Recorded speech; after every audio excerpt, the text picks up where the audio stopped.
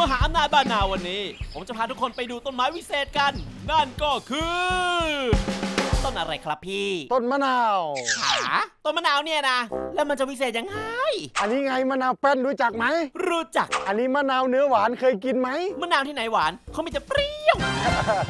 อันนี้มะนาวไรเม็ดตาฮิติเออชื่อแปลกดีหมดแล้วใช่ไหมยังไม่หมดมันยิ่งมากกว่านั้น มีมะกรูดมีส้มจี๊ดส้มโอส้มเช้งส้มเขียวหวาน เดี๋ยวนะพี่ มันวิเศษยังไงอะที่ว่ามาทั้งหมดนี่อยู่ในต้นเดียวกันฮะต้นเดียวเนี่ยนะ ต้นไม้วิเศษ มหาอำนาจบ้านนาและนี่ก็คือพี่ป่าฉายาเกษตรแฟนซีพระเอกของเรื่อง พี่ป่าครับ ผมอยากรู้ว่าทำไมพี่ถึงเรียกว่าต้นแฟนซีล่ะครับ พืชแฟนซีก็พืชหนึ่งต้นมีมากกว่าหนึ่งสายพันธุ์ อยู่ในต้นเดียวกันแล้วพี่จะพาผมไปไหนเนี่ยกำลังจะพาไปดูพืชแฟนซี แต่ในระหว่างทางมันก็มีหลายอย่าง ตัวนี้จะเห็นชัดเจนเนาะนี่มันส้มโอพันธุ์อะไรครับ อันนี้ลูกใหญ่ๆนี้มันไม่ใช่ส้มโอ เอ้าแล้วมันคือ มันคือมะนาวยักษ์หา ลูกใหญ่มันจะลูกใหญ่ เหมาะสำหรับส้มตำคือมะนาวลูกเล็กๆแล้วเอาไปใส่ก็ลูกละครกๆ แล้วถ้ามะนาวยักษ์ล่ะ ลูกหนึ่งได้ประมาณ 30 โคกเลย ว้าว เพราะมันใหญ่น้ำมันเยอะอยู่แล้ว ต้นต่อต้นแม่ มันคือมะนาวยักษ์แล้วพี่ป่าไปหาสายพันธุ์มาจากไหนล่ะครับ ไปงานเกษตรแฟร์ อันนี้พี่ทำไว้โชว์หรือทำไว้ขายเนี่ย เราทำเกษตร 3 ขั้นเนาะหนึ่งปลูกเพื่อเรียนรู้ 2 ปลูกเพื่อขายผลผลิต และฝึกทำออกนอกฤดู แล้วก็ 3 ปลูกเพื่อขายกิ่งพันธุ์ขายเมล็ดพันธุ์การแปรรูป หลักๆ เราก็จะทำพืชตระกูลส้ม ส่วนใหญ่ก็จะมีชื่อคำว่าส้มส้มส้มส้ม แหมมีแต่ส้ม แล้วมีน้องส้มด้วยไหมอะน้องส้มมีต่างหาก ไม่ว่ากัน เดี๋ยวภรรยารู้ ผมกว่าไม่ทันแล้วมั้ง เรื่องของเขา เล่นนี่ก็ คือพี่หนูนางเอกของเรื่องอ้าวขำอย่างเดียวเลย ไม่หึงเลยเหรอ ก็แล้วแต่เขาความสุขของเขาไง ดีจังแล้วพี่ปาคิดได้ยังไงครับ ที่เอาหลากหลายสายพันธุ์มารวมอยู่ในต้นเดียวกัน มันไม่ค่อยมีคนไม่ค่อยทำอย่างเช่น คนอยู่บ้านจัดสรรบ้านเดียวพื้นที่น้อยส้มโอก็อยากปลูกมะนาวก็อยากปลูกมะกรูดก็อยากปลูก เอามาอยู่ในต้นเดียวกันซะ ไม่เปลืองพื้นที่ ว้าว นอกจากประหยัดพื้นที่ มันยังมีข้อดีอีกไหมพี่ คู่แข่งน้อย เราสามารถเล่นราคาได้ อย่างเช่นต้นหนึ่ง5 สายพันธุ์แล้วก็ขายสายพันธุ์ละร้อยห้าสายพันธุ์ก็ 500 ทั้งนี้ทั้งนั้นขึ้นอยู่กับว่าคุณขับรถอะไรมา อะ ถ้าผมขับรถสปอร์ตอะ 2,000 ครับแล้วถ้าขับเก่งป้ายแดงอะพันแปดครับอุ้ยน้ำมันมันแพงอะ ผมขี่ซาเล้งดีกว่า ซาเล้งมาให้ฟรี ว้าว แล้วเราก็ให้ฟรีไปเยอะครับ ต้นไม้ก็ไม่ธรรมดา การขายก็ไม่ธรรมดาอีกนะเนี่ย เราเราไม่มีการเอาต้นไม้ไปวางขายที่อื่น คนจะเดินเข้ามาหาเรา ตลาดอยากได้ตลาดต้องเดินมาหาผมที่สวน ราคาเราต้องเป็นคนตั้ง ไม่ใช่ให้พ่อค้ามาตั้ง เป็นเกษตรกรที่อินดี้จริง อันนี้เราทำเกษตรแบบฮาเฮสนุกสนานเกษตรมันต้องสนุก ต้นหนึ่งต้องมีหลายสายพันธุ์ ๆ แล้วต้นมะนาวยักษ์เนี่ยมันรวมไปด้วยสายพันธุ์อะไรบ้างครับ มันมีมะนาวแป้นด้วยครับ มันมีรอยต่ออยู่ตรงนี้ครับ แล้วนอกจากนั้นมันยังมีมะนาวดกพิเศษอยู่ตรงนี้อีกครับ แล้วยังมีมะกรูดอีกอยู่บนต้นมะนาวยักษ์ที่เล่นปลูกรวมแบบนี้ แล้วถ้าวันหนึ่งมันกลายพันธุ์ขึ้นมาละพี่ อยากให้มันกลายกลายได้เลยครับ เราได้พันธุ์ใหม่อะแล้วมันจะเป็นไปได้ไหมล่ะ ตามทฤษฎีจริงแล้ว มันไม่มีการกลายพันธุ์มะกรูดอยู่บนต้นมะนาวอะ กินก็มะกรูดเหมือนเดิม ลูกก็ผิวขรุขระมะกรูดเหมือนเดิม หรือมะนาวอยู่บนต้นมะกรูดมันก็เป็นกลิ่นมะนาวเหมือนเดิมนั่นแหละครับถ้ามะนาวกลายเป็นมะพร้าวก็คงแปลกดีนะพี่ แวะไปคุยกับพี่หนูบ้างดีกว่า พี่หนูครับ พี่ป่าเนี่ยเขามีต้นไม้พิเศษแล้ว แล้วของพี่ล่ะโซนพืชผักสวนครัว ทำไมมาปลูกตรงนี้ล่ะครับ ก็มันอยู่ใกล้บ้านเราเก็บง่าย เก็บกินง่าย เก็บไปทำกับข้าว โอ้โหนี่พี่ปลูกเองเลยเหรอครับ พี่ปาปลูกให้ ป้าก็จะรดน้ำใส่ขี้วัว แล้วพี่ล่ะ ที่ถอนหญ้าง่ายง่ายๆอะ ดูต้นไม้แฟนซีไปแล้ว แต่ผมแอบมาสะดุดชุดของพี่ปาเนี่ยโอ้ยปกติเนี่ยพี่แต่งแบบนี้เหรอครับอ่าแน่นอนครับผ้าพันคอเนี่ยหนึ่งเราเอาไว้เช็ดเหงื่อครับปาดเหงื่อครับเนาะไม่ใช่ว่าร้อนไม่ร้อนนะครับ เอ๊ะแล้วรูปที่เสื้อพี่อะกลัวจำตัวเองไม่ได้เลย มีรูปตัวเองแบบนี้ โอ้โหพี่ ถึงขั้นขนาดจะจำตัวเองไม่ได้เลยเหรอเนี่ยแล้วพี่ชอบแต่งตัวแบบนี้เหรอครับ character เรามันเป็นแบบนี้มาตั้งแต่มาทำเกษตรเมื่อ 14 ปีให้หลังแล้ว ถ้าพูดถึงสวนเรากล่าวถึงเรา คนใส่หมวกนั่นเหรอ คนมีหนวดนั่นเหรอ คนพูดดัง ๆ นั่นเหรอ คนใส่เสื้อหมอห้อมผ้าบันคอนั่นเหรอ เออ คนนั้นแหละใช่ แล้วพี่ปาเนี่ยเป็นคนโคราชเลยหรือเปล่าครับไม่ใช่ครับ บ้านเกิดอยู่จังหวัดสกลนครสกลนคร อุ้ยเอาซะงงเลยอะครับ บ้านเกิดอยู่สกลนคร แล้วก็จบรามคำแหง พี่จบราม 3 ปีครึ่งครับ ว้าว จบคณะเกษตรใช่ไหมอ่าจบนักข่าวสื่อสารมวลชนนะครับ อ้าว จบนักข่าว จากนั้นก็ ทำฮาร์ดดิสอิเล็กทรอนิกส์ยักษ์ใหญ่ของประเทศไทย ตำแหน่ง supervisor ดูแลวางแผนการผลิต โรงงานที่ทำนี่ทำ4วัน หยุด 2 วัน ไม่มีวันหยุดนักขัดตะเลิกไม่มีเสาร์อาทิตย์ ก็ทำตลอด 23 ปี รู้จัก supervisor ตำแหน่งก็ดีนะ แต่ทำไมพี่ถึงเลือกมาทำเกษตรล่ะทำสี่วันก็หยุดและ 2 วันที่เวลาวันหยุดมันเร็ว จะไปทำอะไรล่ะ ที่เราก็มีก็เลยมาปลูกมันสำปะหลังนี่แหละครับ มันสับปะหลังอะอะ เดี๋ยวค่อยมาคุย ตอนนี้เนี่ย ไปดูต้นไม้ที่มันไม่ธรรมดาดีกว่า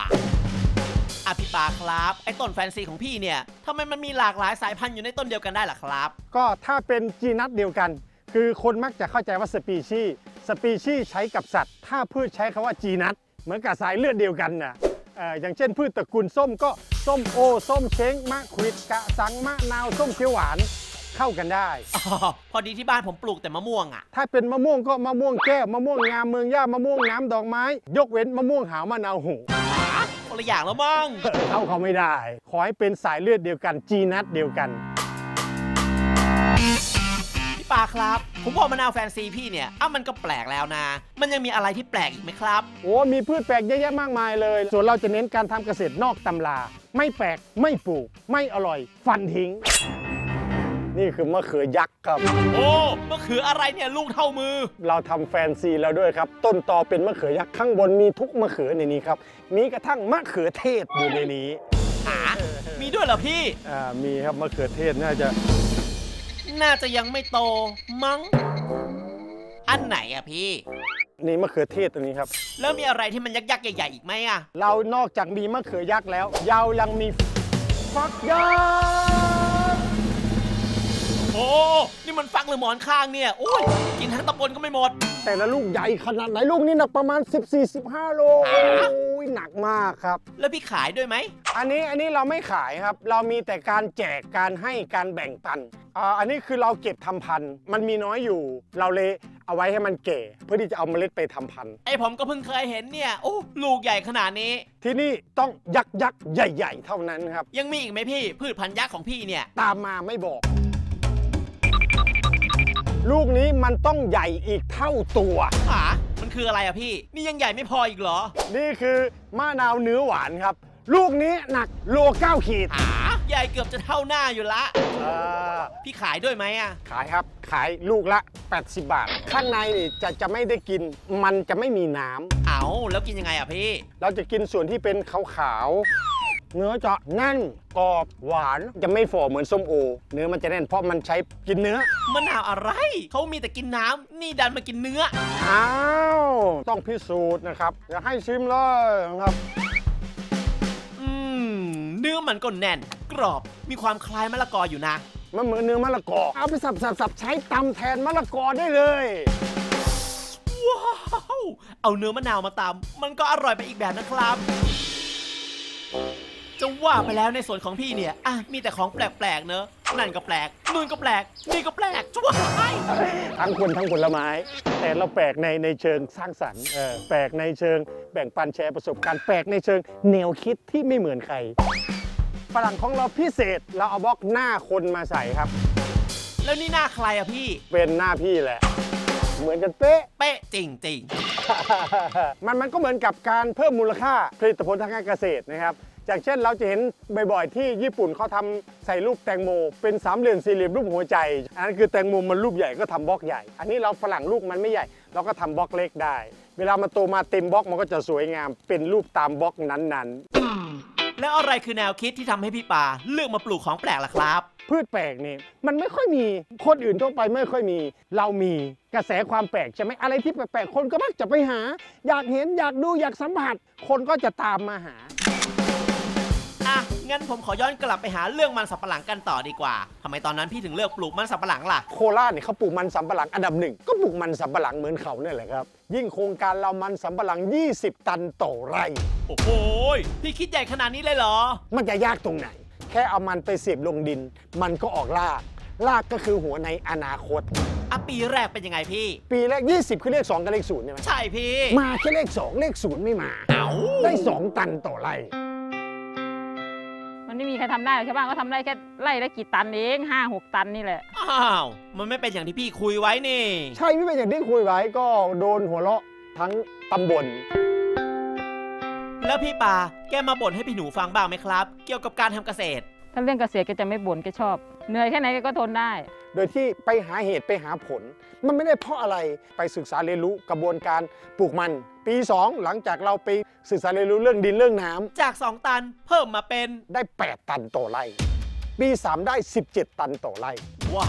ว ตอนนั้นพี่ออกจากงานหรือยังครับ ยังทำงานประจำอยู่ โอ้ไม่เหนื่อยแล้วพี่ เกษตรก็ทำงานประจำก็ทำก็ลาออกมาอยู่สวนประจำ อ้าวลาออกทำไมล่ะพี่อยู่มาก็นาน เหตุผลที่ออกมาก็คืออารายได้สวนกับรายได้ที่ทำงานพอๆกัน นั่นหมายความว่าสวนเราเนี่ยออกมามันก็เลี้ยงตัวเราเองได้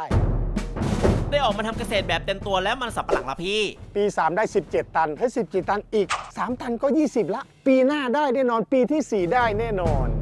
อะ แล้วได้ไหม ก่อนจะถึงปี 4 ครับ ปลายปี 3ปาก็ช่วงนั้นเกิดปัญหาประเทศเราก็มีถูกกว่าเรา แล้วโรงมันเขาจะซื้อเราไหม แล้วพี่ปาทำไงครับ คิดเลยปี 3 ต่อปี 4 ไถมันสำปะหลังทิ้งเลยทำไงต่อก็เพิ่งนึกถึงเรื่องราวเศรษฐกิจพอเพียง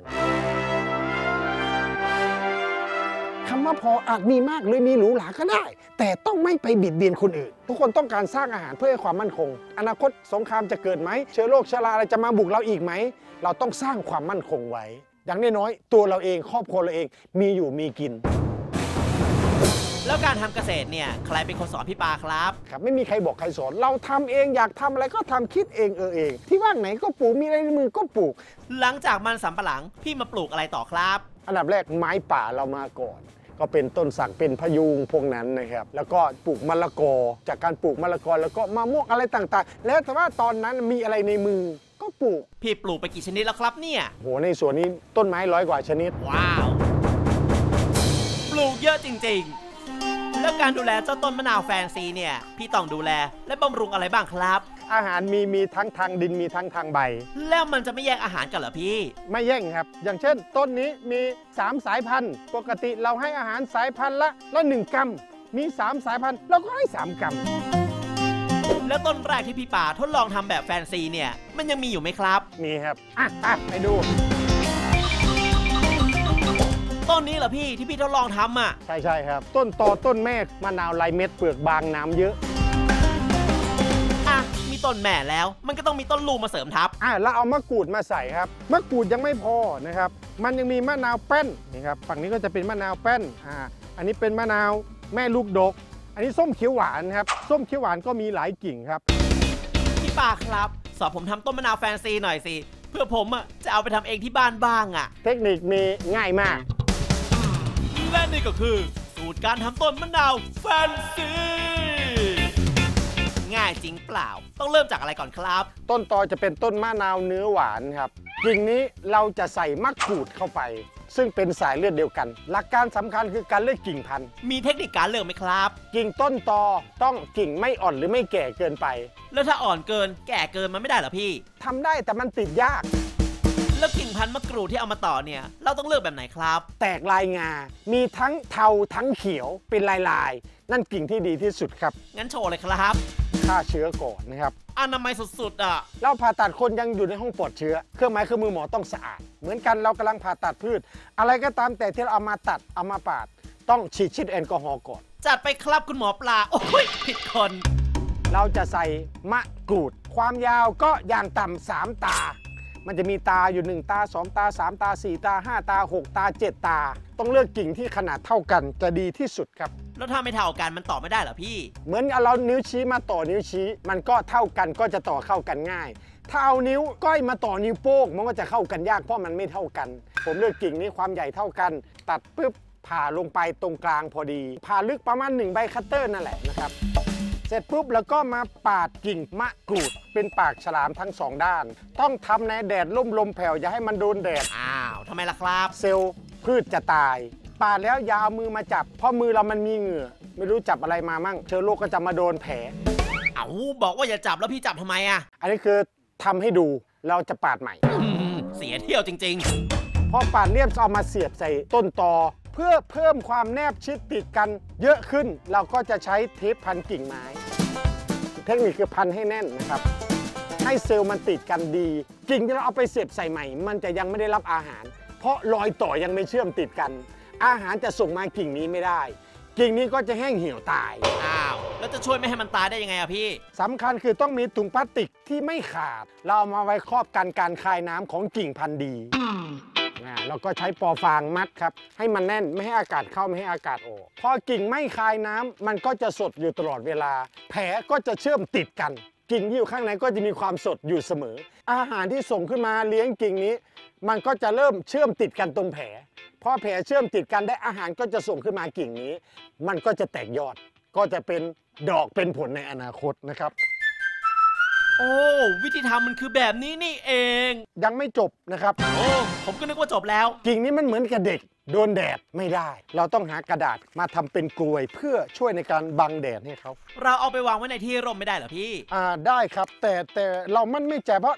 แสงอาทิตย์มันมันเคลื่อนตลอดล่มบ่ายมันอาจจะไม่ล่มก็ได้ เพราะฉะนั้นชัวร์สุดเราก็มาบังแดดให้เขาเลยครับแบบนี้ เสร็จเรียบร้อย การดูแลให้น้ำให้ปุ๋ยก็เหมือนการดูแลทั่วไป รออีกนานไหมกว่ามันจะแตกยอดอ่อนออกมา ประมาณอาทิตย์ที่ 3 ครับ ถ้ามันติดมันจะแตกยอดใหม่ขึ้นมา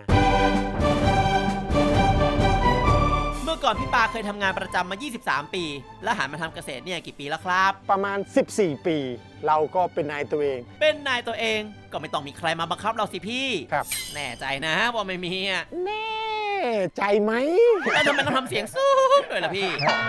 การใช้ชีวิตบางส่วน อะไรบางส่วนมันก็ต้องพึ่งพาอาศัยซึ่งกันและกัน พี่หนูครับพี่ปาเนี่ยเขาเป็นคนยังไงครับ ก็คืออย่างเงี้ยเขาจะเป็นตรงๆเขาสไตล์เขานั่นแหละเหมือนบุคลิกเขาอย่างนี้แหละแล้วพี่ปาชอบพี่หนูตรงไหนครับ ก็ชอบทุกอย่างครับที่เป็นเขาครับเขาก็บอกแค่ว่าเขาเจอแม่ของลูกแล้วเขาคือจบว้าวรายการจริง ๆ แล้วพี่ปาสอนเกษตรอะไรพี่บ้างครับ ก็สอนชำต้นไม้ แล้วพี่ชอบไหมล่ะ เป็นคนที่ไม่ชอบเกษตรเลยอ้าวเพราะว่ามันร้อนแล้วมันเหนื่อยเพราะเห็นพ่อกับแม่ทำไร่ทำนามาตั้งแต่เล็กไงกลัวเหนื่อยกลัวดแล้วเราคือไม่ชอบำชอบไม่ชอบก็ทำละตอนนี้พี่ หนูเริ่มชอบเกษตรแล้วหรือยังครับ ก็ได้ก็อยู่กับมันได้อย่างมีความสุข พี่ปาครับ นอกจากพี่จะปลูกต้นไม้กว่าร้อยชนิดแล้วเนี่ย พี่มีเลี้ยงสัตว์บ้างไหมอะมีกุ้งฝอยหอยขมปูนาแมงดาปลากินพืชปลาดุกกบเยอะไม่แพ้กัน ไก่ไข่เอ้านึกว่าหมดแล้ว กลับมาดูคนแปลก ของแปลกต่อดีกว่า ชะอมทั่วไปมันต้องมีหนามใช่ไหมใช่ แล้วของพี่ล่ะ ชะอมไร้หนามฮะจริงดิ ไม่มีหน้ำแล้วรสชาติมันล่ะพี่ กินรสไม่แตกต่างอะไรจากชะอมที่มีหนาม การดูแลรักษาเหมือนกันทุกประการ บอกว่าไม่มีหน้ำโอ้ใครเขาจะเชื่อ เอามือลูดได้เลยครับ เอามือลูดมาได้เลยครับ สบายเจ็บไหม เออไม่มีเออแปลกจริง แล้วพี่ขายด้วยไหมครับ ขายกิ่งพันธุ์ชะอมไร้หนามเราขายกิ่งละ 50 บาทครับ ปีละไม่ต่ำกว่า 5,000 กิ่ง ว้าวมันมีน้อยมากมันหายาก หายาก แล้วพี่ไปหามาได้ไงเนี่ย ก็อะไรที่พี่ปารู้ครับ อะไรที่พี่ปาอยากได้ครับ ของแปลกมันอยู่มุมไหนของประเทศไทย ต้องบุกให้ถึงที่ต้องเอามาให้ได้ครับ สุดจริง ๆ ทั้งคนทั้งต้นไม้ โอ้แล้วยังมีแปลกกว่านี้อีกไหมพี่ มีแปลกกว่านี้อีกเยอะไปตามไป อันนี้ใกล้ๆนี้อีกหนึ่งพืชแปลกหายากในประเทศไทยนี้ครับ ผมจะไม่บอกว่ามันคือต้นอะไรเคี้ยวเพื่อดูกลิ่นดูรสอะเคี้ยวหืมแล้วก็ดมกลิ่นเฮ้ยทำไมเหมือนลูกอมดีจัง เย็นชุ่มคออะอ่ามันเหมือนกับลูกอมใช่เลยพี่ อ่าบางที่เขาจะเรียกว่าต้นโป่งฟ้า แต่เราเรียกว่าต้นแฮกเพราะกลิ่น รสเหมือนลูกอมเป๊ะทุกอย่าง คือใบนี่เอาไปทำชานะหลักๆก็เอาไปทำชานะ แล้วพี่เพาะพันธุ์เองหรือเปล่าครับเพราะพันธุ์เองครับ ก็เอาเม็ดมานี้ครับทิ่มลงดินเลยนี่ครับเดี๋ยวประมาณ 28 วันไม่เกิน 35 วันก็งอกแล้วหมดหรือยังครับของแปลกยังไม่หมดนะอะยังมีอีกเหรอเนี่ยอะไปดู เคยเห็นไหมครับ มันคือมะพร้าวน้ำหอมสีทองแหม่ เปิดตัวสลั่นทุ่งเลย เอาสีไปทาไว้หรือเปล่าเนี่ย มันเป็นธรรมชาติครับมะพร้าวพันธุ์นี้เปลือกมันจะบางกว่า เพราะเนื้อมันจะหนา น้ำคือมันหอมกว่ามะพร้าวน้ำหอมทั่วไป ถ้าถ้าลายนั้นหวานหอม เราก็จะเก็บไว้ทั้งหมดทำพันธุ์รุ่นต่อไป ให้มันแก่เหมือนเหมือนลูกนี้นี่ครับ นี่แก่แล้วสุกหลุดมาด้วยนี่ครับอ่าลูกนี้ก็ได้แล้วครับ ตั้งราคาไว้ละ 200 บาท เพื่อทำพันธุ์รุ่นต่อไป โอ้ยรอจนแก่เปลือกแห้งพอดีทำไมพี่ไม่ขายตอนมันเป็นสีทองล่ะ ผลหนึ่งเราขายแค่ 30 บาท 40 บาท 50 บาท แค่นั้นเอง เพราะน้ำมันไม่ได้เยอะเด็สู้เราเอาไปทำพันธุ์แล้วได้อีกเท่าไหร่ล่ะอืมก็ถูกของพี่เนาะสำคัญคือมันเป็นสีเหลือง สีเหลืองออกทองเป็นเงินเป็นทองเป็นมงคลช่วงเนี้ยผมดวงตกอะโอ้ยขอเสริมมงคลหน่อยพี่ เอออย่าหลอกกินรู้รู้ทันโอ้อดเลย ที่เล่นปลูกเยอะขนาดนี้เนี่ย สิ่งที่หนีไม่พ้นก็คงจะเป็นเจ้าแมลงศัตรูพืช พี่ปาใช้สูตรอะไรครับ สูตรป้องกันและไล่แมลงและนี่ก็คือสูตรน้ำหมักชีวภาพไล่แมลงไปชิวชิวเริ่มจากอะไรพี่ น้ำเปล่าเทลงไปก่อน 1 ลิตร ใส่กากน้ำตาลประมาณ 100ซีซีเนื่องจากว่ากากน้ำตาลมันมีความหนืด เราต้องละลายก่อนนะครับ มือเอาไม้ไหมมือละลายได้เลยนะครับละลายแล้วก็ใส่นมเปรี้ยวประมาณ 70ซีซีน้ำส้มสายชูนะครับน้ำมะพร้าวจะมีไซโตไคนิน ในกรมวิชาการเกษตรเขาเพาะเนื้อเยื่อเลี้ยงเนื้อเยื่อ เขาจะให้อาหารมันเรียกว่าไซโตไคนินอะเหล้าขาวหนึ่งขวดครับแมลงเมาแมลงก็จะบินหนี ยาเส้นครับสองซองอย่างต่ำนะ จะทำให้แมลงเบื่อเมา ใส่เหล้าขาวไปแล้วเนี่ยยังไม่พออีกเหรอครับ ไม่พอต้องช่วยกัน คือยาเส้นนอกทำให้แมลงเบื่อเมาแล้วทำให้แมลงเป็นหมัน มันก็จะไม่ขยายพันธุ์แล้วก็สำคัญก็คือเครื่องแกงมันจะมีความแสบหลอนไล่แมลงครับ แล้วก็ตะไคร้หอม บอระเพ็ดครับ ใส่ทั้งใบทั้งต้นได้หมดเลยแมลงเจอสูตรนี้ไปอุ้ยคงหนีกระเจิง ใส่เข้าไปแล้วก็คนให้เข้ากันโดยใช้มือนี่แหละครับ คนให้เข้ากัน แล้วก็ปิดด้วยพลาสติกใสไม่ให้อากาศเข้า แล้วเก็บไว้ในที่ร่มครับ หมักทิ้งไว้นานไหมพี่ 1 เดือนก็สามารถเอาไปใช้ได้เลย อัตราส่วนในการใช้ละครับ เอาไปใช้6ถึง10 ช้อนแกงต่อน้ำ 20 ลิตร ของแปลกในสวนพี่ป่ายังไม่หมดนะครับ แต่ถ้าให้พาเดินทั้งสวนน่ะโอ้ย สงสัยเวลาคงไม่พอ แต่พี่ป่าจะขอโชว์อีกนิดละกันนะ อีกหนึ่งของแปลกหายาก มันคือกล้วยน้ำว้าดำหาผมไม่เคยเห็นน่ะ ต้นมันสูงสูง ใช่ครับ น้ำว้าดำมันสูงพอๆกับน้ำว้ายักษ์ มันจะสูงกว่ากล้วยชนิดอื่นว้าวๆคำว่ากล้วยน้ำว้าดำมันพิเศษตรงใกล้สุกลูกเขานะครับ มันจะเป็นสีดำคล้ายๆกับสนิม มันจะไปเกาะอยู่ตรงเปลือกกล้วย เนื้อข้างในมันก็จะมีความหอมความหวานกว่ากล้วยทั่วไปสองเท่า กินแล้วร่างกายแข็งแรงทำให้ชีวิตยืนยาว เป็นความเชื่อของคนโบราณโบราณสรรพคุณไม่ธรรมดา ราคาละพี่ ตลาดทั่วไปขายหวีละ500 กล้วยทั่วไปเราหน่อละ 20 บาทใช่ไหมใช่พี่ กล้วยน้ำว้าดำนี่หน่อละ 800 โอ้โห หน่อแค่เนี้ยทำไมราคามันสูงจัง คือหน่อจะไม่เยอะเหมือนกล้วยทั่วไป เขาจะหวงหน่อ แล้วปีหนึ่งมันออกเยอะไหม ปีหนึ่งไม่เกิน 3 หน่อหรอกครับ นี่คือความวิเศษที่มันแพง ว้าว หมดแล้วใช่ไหมพี่ของแปลก มีตามมาอ่าตอนนี้เรามาอยู่ในโซนของ สะเดาดำ ว้าว มันตากแดดหรือเปล่าพี่ มันดำเลยอะมันเป็นธรรมชาติของเขา เป็นสารที่หายาก ผมเคยเห็นแต่สะเดาวเขียว แล้วมันขมเหมือนกันไหมพี่ ความขมก็เหมือนกับสะเดาทั่วไป กินยอดกินดอกได้ทั้งหมด ถ้าถ้าดูจากมุมสูงมานี่ครับ โซนนี้จะเป็นสีดำตรงอื่นจะเป็นสีเขียวหมดเลย สวนพี่เนี่ยถือว่าแปลกและไม่ธรรมดาจริง ๆ การที่เลือกมาเป็นเกษตรกรเนี่ยคิดว่ามันมั่นคงแล้วหรือยังครับ มั่นคงนะครับ เรามีรายได้เข้าสวนทุกวัน เราไม่ต้องไปเป็นลูกน้องใคร เราเป็นหัวหน้าเราสบายใจกว่าเยอะครับ อยากทำอะไรก็ทำแต่มันต้องมีวินัยกับตัวเองนะและทุกวันนี้อาชีพเกษตรกรให้อะไรกับพี่ปาบ้างครับ เป็นอาชีพเดียวที่สามารถกำหนดรายได้เป็นของตัวเองได้ครับอาชีพเกษตรเป็นอาชีพที่เลี้ยงผู้คนทั้งโลก เป็นอาชีพที่สุจริต การที่เราอยู่กับธรรมชาติอย่างเข้าใจธรรมชาติไม่เบียดเบียนธรรมชาติ การที่เรามีอยู่มีกิน มีใช้ อยู่กับไร่ อยู่กับนา อยู่กับสวน การที่เราได้แบ่งปันได้แชร์ความรู้ ยึดหลักเศรษฐกิจพอเพียงของพ่อหลวง แค่นี้ก็ happy แล้วครับ เกษตรกรไทยฝังใจและกายอยู่คู่แผ่นดิน แหมเพราะจังแผ่นดิน เอ้านึกว่าจบแล้วโอ๊ยใจคอพี่จะร้องทั้งวันเลยปะครับเนี่ย แน่นอนครับร้องทุกวันครับ เพราะตัวเองเสียงเพราะนี่ปาก็ชอบฟังเลยแถมชีวิตพี่ปาก็ยัง แฮปปี้แฟนซี ขอขอบคุณทุกท่านที่ติดตามชมรายการ มหาอำนาจบ้านนาผ่านทาง YouTube ไทย PBS อย่าลืม กดไลค์ กดแชร์ กด Subscribe กดกระดิ่งแจ้งเตือนกันด้วยนะจ๊ะ ท่านผู้ชมจะได้ติดตามและไม่พลาดทุกๆ ตอนของรายการมหาอำนาจบ้านนา รวมถึงรายการอื่นๆที่น่าสนใจจากไทย PBS